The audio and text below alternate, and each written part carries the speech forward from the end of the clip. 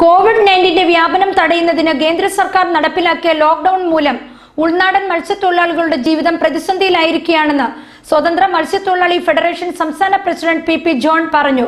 Corona പ്രതിസന്ധിയിലാക്കിയിരിക്കുന്ന മത്സ്യത്തൊഴിലാളികളുടെ ദുരവസ്ഥ പരിഗണിച്ച് പ്രത്യേക പാക്കേജ് അനുവദിക്കണമെന്നും അദ്ദേഹം പറഞ്ഞു.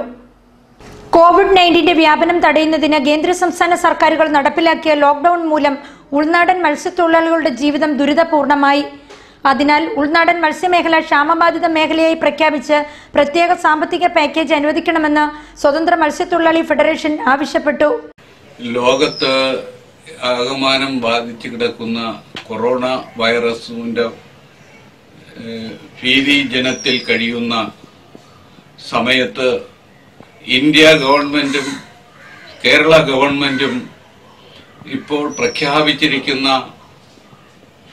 ഈ നിരോധന പ്രഖ്യാപിച്ചിരിക്കുന്ന ഈ സാഹചര്യത്തിൽ കേരളത്തിലെ ഇന്ത്യയിലെ തന്നെ മത്സ്യത്തൊഴിലാളി മേഖലയെക്കുറിച്ച് കേന്ദ്ര ഗവൺമെന്റോ സംസ്ഥാന ഗവൺമെന്റോ പ്രഖ്യാപിച്ച പാക്കേജുകളിൽ ഒന്നും തന്നെ മത്സ്യത്തൊഴിലാളികൾ ഉൾപ്പെടുന്നില്ല.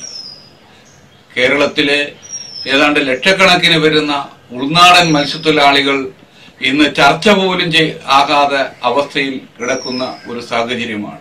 ഉൾനാടൻ മത്സ്യത്തൊഴിലാളികൾ ഏറ്റവും കൂടുതൽ ദുരിതപൂർണമായ ഒരു അവസരത്തിലാണ് ഇന്ന് ഈ കേരളത്തിൽ ജീവിക്കുന്നത്.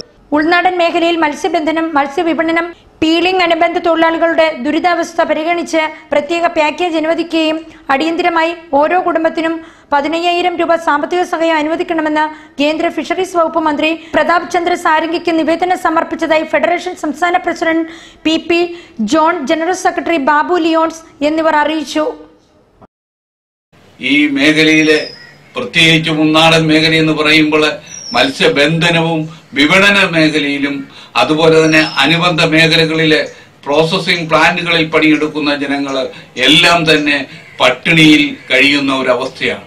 ഈ മേഖലയെ സംരക്ഷിക്കുവാൻ കേന്ദ്ര സംസ്ഥാന സർക്കാരുകൾ അടിയന്തരമായും ഈ ഉൾനാടൻ മേഖലയും പദ്ധതി ബാധിത മേഖലയായി ഒരു ദുരന്ത മേഖലയായി പ്രഖ്യാപിച്ചുകൊണ്ട് ഓരോ മത്സ്യത്തൊഴിലാളി കുടുംബങ്ങൾക്കും പതിനയ്യായിരം രൂപ വീതമെങ്കിലും അടിയന്തരമായി നൽകുന്നതിനുള്ള പാക്കേജുകൾ പ്രഖ്യാപിക്കണം എന്നുള്ളതാണ് ഞങ്ങൾ ഈ അവസരത്തിൽ പറയുന്നത്.